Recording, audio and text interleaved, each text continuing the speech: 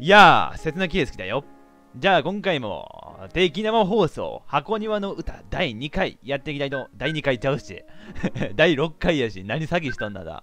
第2回なんで、わで、私はちょっと慣れてません。だからご了承くださいみたいな感覚植え付けるな、視聴者さんに。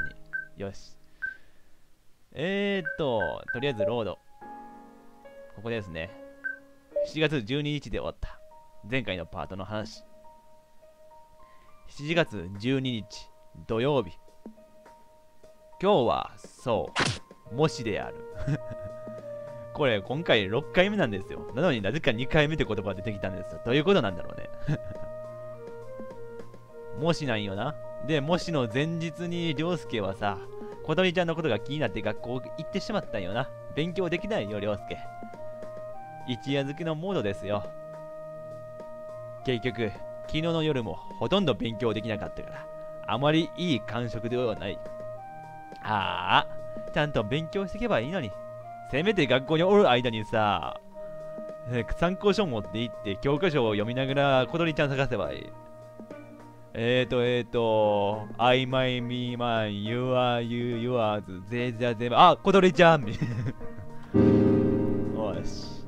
もし聞きたくない。あ、そうか、あなた。進学校とかでもしバンバン受けるタイプの学校ですね。もし頑張ってくださいね。いい点取ってくださいね。滑っちゃダメですからね。うん。もしに滑るとかないか。得点がいいか悪いかの話やな。みんなの様子はどうだろうか。あ、選択肢出てきた。ここで選択肢出てくるとは思わんかった。そうなんよな。このゲーム意外とノベルゲームでありながらも選択肢出てくるけんな。パート1以来やけどな 選択肢。えどれがいい？皆さん。ちょっと皆さんの意見取り入れようかなと思うけど、なんか視聴者さん、どの、えっ、ー、と、夏雪、いずき、小鳥ちゃんの3人から選べる？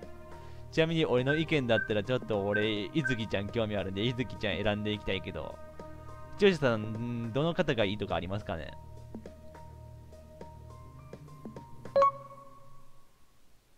夏雪ルート？夏雪あー、でも夏雪あれか。勉強全然してないみたいなこと言おったけん、どんな様子か見てみたい気はするよな。あ、夏雪。二人に夏雪って言うたけん、夏雪行きます。夏雪の様子が気になる。夏雪の様子が気になって、僕は視線をそっちに送った。わあ なんじゃこりゃって顔してる なあ、やっぱ勉強したかったな。昨日も勉強したかっただろ、お前。これゼミで全然やってないわ、みたいな顔してる。こいつゼミとかやらんタイプやろうけどな。こんな問題教科書でやってないわっていうような顔してるわ やっとるよ。おっとなんか、やばいぞ。トイレ2時間ぐらい我慢した時の顔みたいになってるぞこの様子からもうこいつは30点とか取る、30点ぐらいしか、よくて30点ぐらいしか取れんっていうイメージがつくね。あははは 何回乗っ取られたような顔になってしまったぞ、今度は。とうとうやばい状態になってきたよ。これホラーゲームじゃないからな。おっと一周回って元に戻った。諦めた。諦めたよ。もう、なんか、思い切ったの。おっと笑顔になりました。笑顔になりました。もう一周回ってもうさ、なんつうか、開き直ったな。もう、ま、一回みたいな顔になったな。まあ、一回のまま。あれは、完全に諦めた顔だな。だろうな。諦めたよ、完全に。ああこんな問題解けねえよ、くそーくそこんなんできるかよまあ、いっか、みたいな。まあ、いっか、早すぎ。だから勉強しろって言ったのに。試験官である教師が近づいてきたので、僕はまた自分の机に視線を戻した。他の2人選んだらどうなるかっていうのはちょっと自分でプレイして見てみてくださいね。興味のある方は。ふぅやっと終わったぜ多分その終わったの意味はさ、9割方、もう終わりだ、おしまいだの方だと思うんやけどな、お前の場合。晴れ晴れした顔で、ナテユキがこっちに近づいてくる。それにしても、なんで休みの日にわざわざ学校に来て、もしなんて受けないといけないんだよ。大求はあるんだろうな。今週の午前授業はそのためだったんだろそうなの？じゃあ、代給ねえのかよ。第9レベルで遊んどったけどなお前 ふふん夏雪あんた第9が欲しいなんて言ってられなくなるわよなんでだよ。今日の模試私が圧倒的にあんたを任してもらうわ。おう伊月結構自信あるんやな。でも最下位争いやけんなこれ。言うけど最下位争いやようだけやけんなこれ。自信満々持っとうけどビリから2番目を私がもらうわって言うだけやけんな伊月さ。そんなにこういうドヤ顔して言うことじゃないよ。それよりあんたは休んでる場合じゃない勉強しなきゃってなるはずよ どうかな？夏雪やけんな。どんなに成績悪くても、ま、一家の一言で終わりそうやもんな。これは抜けないフラグでは本当じゃ。いずきちゃん大丈夫かな？いずきちゃん結構こう見えて頭悪いけんな。どれぐらい悪いかは知らんけど。はん、てめえが俺、てめえで俺が倒せるかよ。余裕かませられるのも今のうちだわ。さあ、視聴者さんに問題だ。この二人どっちが勝つかな？いつも通り低レベルな争いが始まった。二人とも問題用紙に答え写してある？まあ、一応な。あもしってそういう勉強法するんだな？受け方するんだな？あれか。問題の方に答え写して後で調べて本当にあっとったか調べて勉強するみたいなやっぱ勉強する進学校は違うな。あるわよ。それじゃあ答え合わせしよ面白いな。やろうぜ。うじゃあ今終わったばっかりの社会ね。お社会を受けたんやな。いいぜ。問題。鎌倉幕府を倒して兼務の申請を行った天皇は。確かこれ天武天皇じゃなかったっけな。覚え結構前に習ったな。中学生の時に習ったんか。5年前か俺からしたら。あこのさここらのこいつら中3やけんそれぐらいのレベルなんやな。まあ大体そんなもんか。鎌倉幕府って確か天武の申請だったと思うよな。天武の申請じゃないわ。天武天皇だ天武天皇だったと思うよな。兼務の申請を行ったんは。どうだったかな？あとうかな？伊月の答え。何これ。なんか聞いたことある答えやな。伊月くんの答え。ティレ後醍醐天皇聞いたことある。後醍醐天皇って確か確かにそういう名前の天皇はおったぞ。けど違うと思うよそれ。あ正解なんかい え後醍醐天皇か。うわ間違えた俺天武天皇って何だったっけな。ケムの申請ちゃうんじゃ。天武天皇っていう天皇おったはずなんやけどな。別の天皇か後醍醐天皇確か後醍醐ああ漢字覚えてない。まあいいや。あっとんじゃこやるな伊月。勉強してるでねえか。お前やるじゃないか。これなら多分伊月の勝ちだと思うよな俺。視聴者さんもね今コメント見たらフラグ無視して伊月って書いてくれた人がおる。もしかしたら正解かもしれませんよあなた。かなりモンキーマジックな感じになってる。モンキーマジック。モンキーマジックうるさいわね。あんな難しい漢字書けるわけないでしょ。そんなに難しかったっけ？後醍醐天皇って。まあいいや。後で調べてみよう。正解だからいいじゃないのよ。いやそこがさ試験官ってか丸付けする人にとによってはさ漢字でないと×っていう人もおるんよな。どうなんだろうな。いや漢字で書かないと不不正解だとは思うぞ。おうそうなんじゃ。ななんですって？相変わらずだな、伊月。あんたはなんて書いたのよ？夏雪くんの答え。フランシスコ・ザビエル。ああもうその時代の人じゃなかったと思うんやけど。フランシスコ・ザビエルって。しかも外人やしさ。何外国の人が天皇やるよな。うーん何？えーと何だったっけな。ザビエルってあれだろ？何教だったっけな？あれ忘れたし 何教だったっけな？えーとヒンドゥー仏教キリスト教じゃキリスト教を広めた人だろうザビエルってしかもそれって確かあの豊臣秀吉が追い出した頃にやりよったわけやけん。あれ、そうだったっけなやけど。戦国時代じゃんねそれ。安土桃屋とかその辺りに出てきた人じゃないザビエルって。どうだったかな？覚えてないけど、そんな感じがするけん、もうえらい違いっていうことは言いたい。天皇だって釣ってただろ、バカ野郎。バーカ。うるせえお前が言えるかよまあ、どっちもテストの問題的には罰なんやけど、間違い方が的にさ、夏雪バカ、伊月惜しいの状態だったな。歩む次の問題だ次ああ。問題。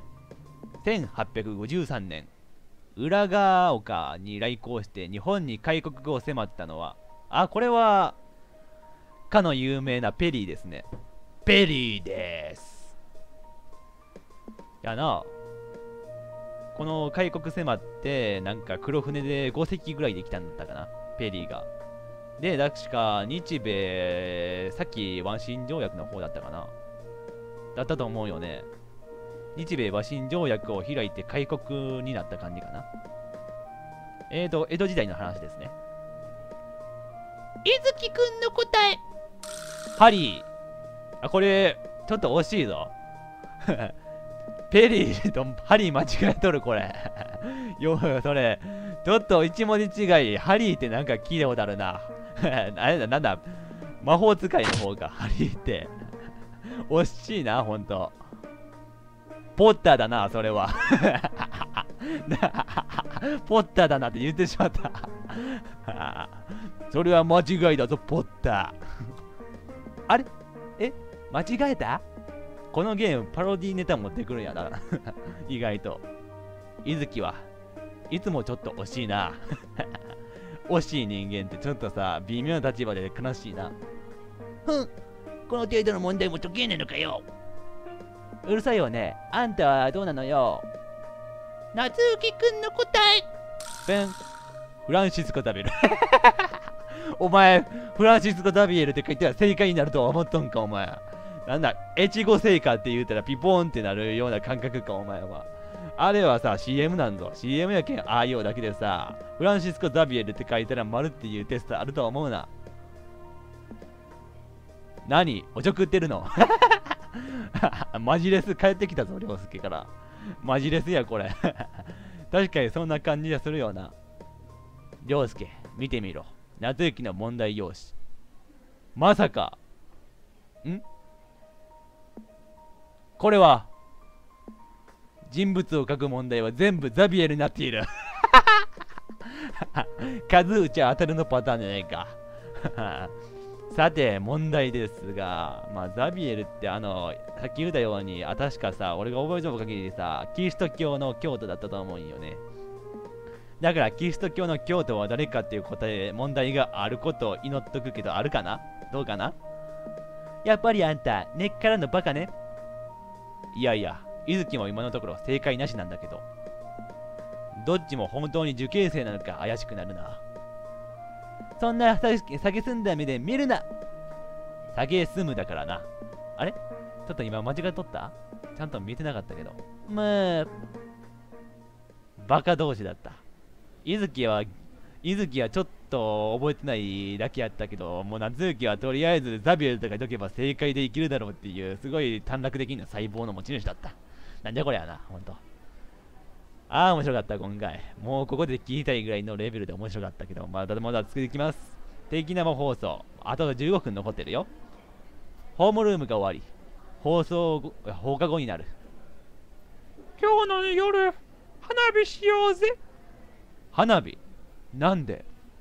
親戚がたくさんくれたんだよほう、親戚がなんか花火ういよる仕事でもしよんかな。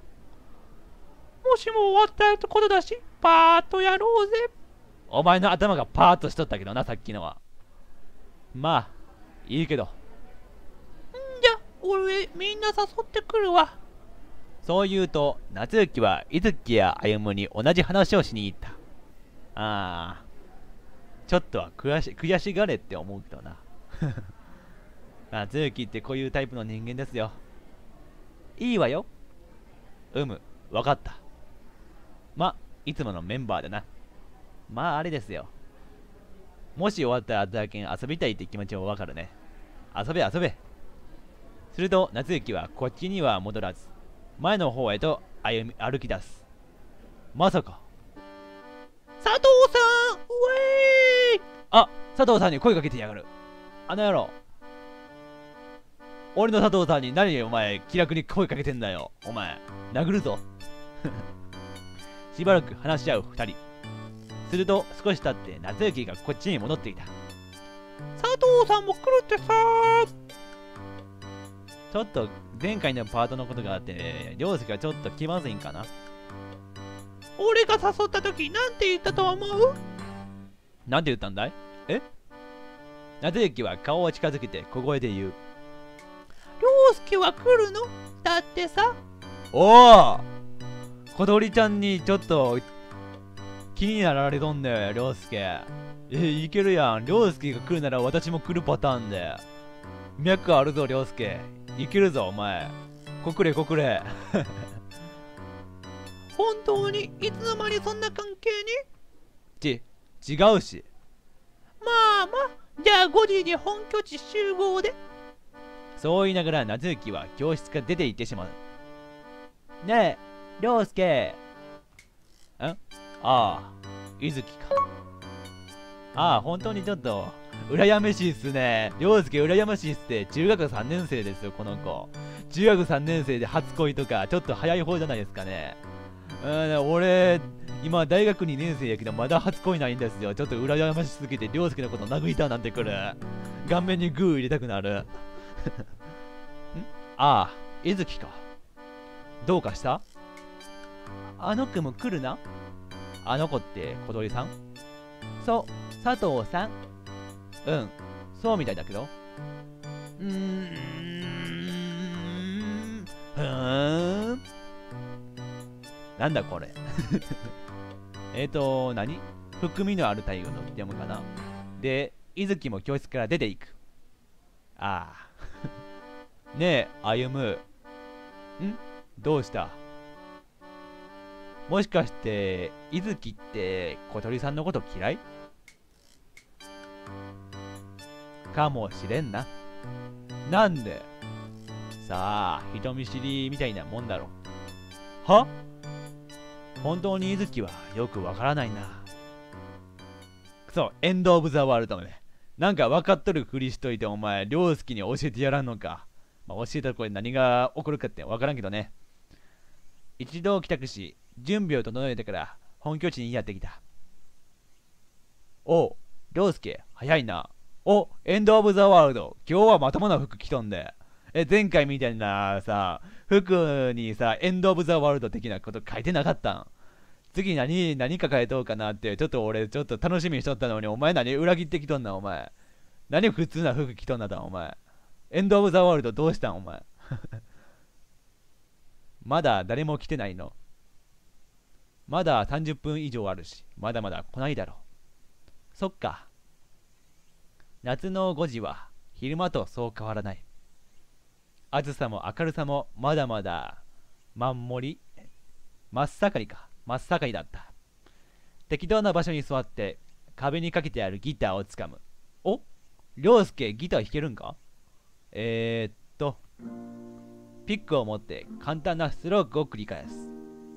お？少し上手くなったか？ちょっとコードを弾けるようになっただけだけどね。これは歩夢のお父さんのギターらしい。歩夢のお父さんは数年前に亡くなった。あ、そうなんじゃ。ちょっと、それが悲しくって、その悲しいことを立ち直って今に至るっていう、ちょっと、歩夢の過去に触れた感じがするね。なるほど。生前はそこそこ有名な画家で、この離れはアトリエとして使われていたらしい。ああ、そうなんじゃ。ギターは息抜き程度に時々弾いていただけのようで、歩はおじいさんがギターを弾いているところはあまり見たことがないらしい。うん。歩は、ん？いや、なんでもない。もう、絵は描かないの？言おうとした言葉を飲み込む。あんなに絵が好きで、誰よりうまかった歩夢が一切絵を描けなくなった理由を僕は知らない。え？そうなんじゃ。歩むって絵うまいんだ。結構描きよったのに、最近やめたみたいな感じか。はあ、おじいさんの、いや、お父さんの影響だったんやな。おそらくはおじ、おじさんの死によるものだと思うが、詳しくは教えてくれない。なるほどな。中学に入った頃、しつこく聞いた伊月に、歩は珍しく語気を荒げ荒げていった。ほっといてくれと。だから、そうしておくしかなかった。あ、だからその悲しさを持っとる、ちょっと、まだここの中に溜まっとるけん、エンド・オブ・ザ・ワールドって吹く気きよんかな。歩にとって、お父さんがいない世界はエンド・オブ・ザ・ワールドだったのね。うん。そういえば、夏雪が言ってた曲の方はどうなんだ？ああ、なんて読むんだよ、これ。来宅祭の話？文化祭かな？確か来宅中学校とか言おったような気がする。この漢字使いとった気がするけん。多分学校名で祭やけん、文化祭やろうね。うむ。無理に決まってるじゃん。なんとか祭まで時間ないのに、ギター初心者が曲なんて作れるかよ。そんな深い理由だったのか。あー、でも、そうやね。歩む絵描きよったんじゃって初めて知ったけど、あれでもあれか。確か公式サイトのキャラクター紹介のとこにそんなこと書いとったな。確か。忘れとったけど今思い出したわ。そうなんやな。それっぽく放ってきてるじゃないか。知ってるコードを適当に弾いてるだけだよ。そんなことを言いつつ、本当は曲を作りたいんじゃないのか？からかうなよ。ま、やぶさかではないけど。ほう？ほら。むー。はは、睨むなって。そう言いながら、歩夢は外に向かって歩き出す。どっか行くの？いや、夏雪のやつ、佐藤さんを誘ったのは別にいいんだが、県道沿いに歩が立っているから、それを目印にしてくれって勝手な説明をしたようでな。ああ、これは社会だけじゃなくて、地理もダメなパターンのやつじゃないかな。地理がなくてよかったな、な、夏雪。地理があったらさらにお前のバカなところが見れとったと思うぞ。チーズ、読めるようになれよ。早めに来たら困るから、今から向かうんだ。それはお気の毒に。じゃあ、行ってくる。気をつけて行ってこいよ、エンド・オブ・ザ・ワールド。歩夢が出て行き、一人になる。寂しいな。曲か。曲の作り方曲の作り方なんて全然わからない。今は教本通りに弾くのが精一杯だ。でも、適当にコードを並べるくらいなら、それっぽい程度には作れるかもしれない。とはいえ、えー、何々祭で歌うなんて絶対に嫌だ。みんなの前で歌うなんて恥ずかしすぎる。そう思いつつも、僕はギターを弾きながら適当なフレーズを鼻歌にした。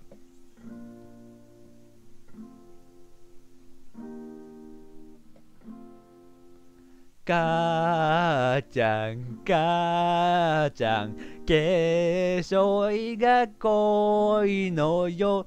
そうよ、誰も見てないのにね。ふふふふん。と、その時。あ ーあー小鳥ちゃん聞いてたの？今のお母さん、お母さん化粧が濃いのに、濃いのによっていう曲。う聞いてたの？今のネタだから忘れて。ちょっというか、黒歴史なんだから忘れて。ああ、小鳥ちゃん。いつの間にいたの？えー、なんかドアップだったら可愛いね。わあ窓の外で小鳥ちゃんがこっちを見つめて立っていた。あ、あれ？歩夢は？続けて。続けられるか今の黒歴史じゃ。お前に聞かれてたのは 黒歴史じゃ。はずいわ。ほんとはずいわ。お前興味あるんか今の曲。だったらお前が作詞してくれよ。俺はもう嫌だ。え？歌？いや、でも、恥ずかしいしな。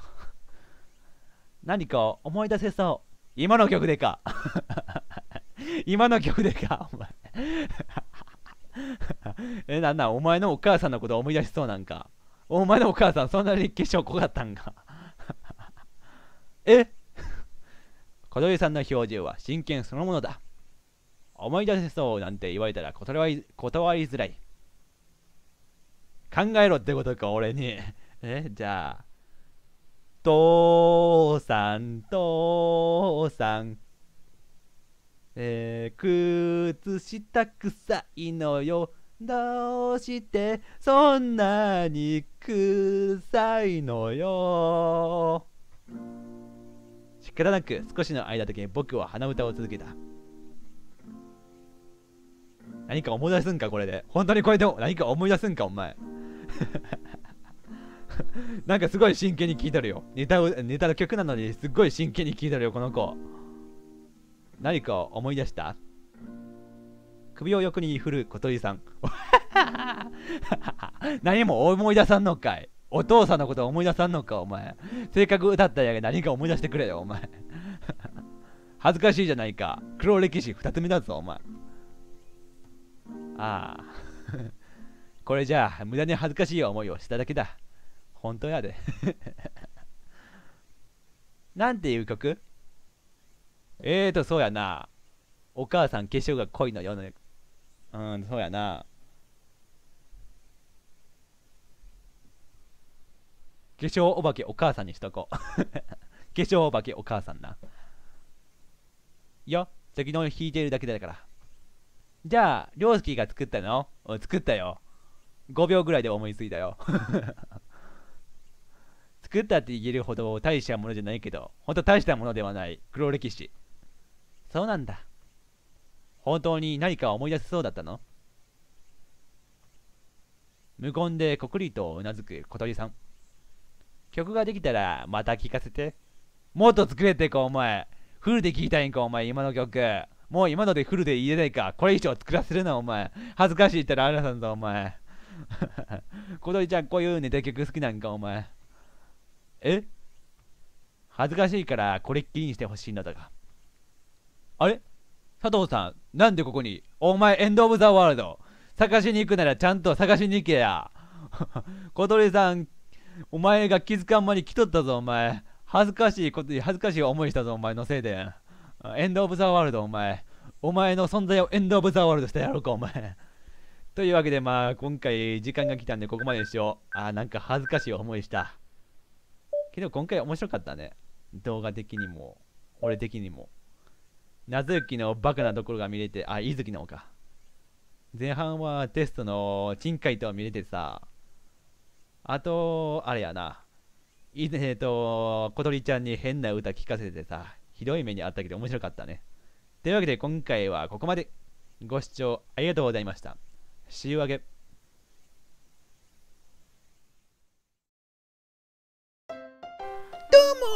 暴れん坊のサンタクロースです。宣伝というプレゼントします。この動画は刹那圭介の実況動画です。刹那圭介のチャンネル登録をしたいという方は俺をクリックしてくれ。